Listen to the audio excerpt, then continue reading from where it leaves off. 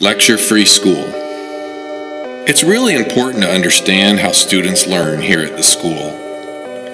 So, for English, math, social studies, science, and spelling, the students get to go through the material at their own speed without the teacher lecturing. In a typical lecture school, you have the teacher talk about the material, maybe have the students read the chapter, do some homework, and then take a quiz before the test. Here, all of the subjects are laid out exactly the same. You read the chapter first, answer questions, then do a checkup, which is the same as a quiz, and then the self test at the end of the book is a review of the whole book, getting them ready for the regular test.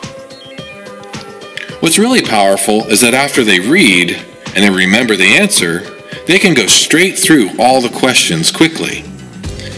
But if they need more time, they'll read and maybe not remember the answer. Then they get to go back as much as necessary.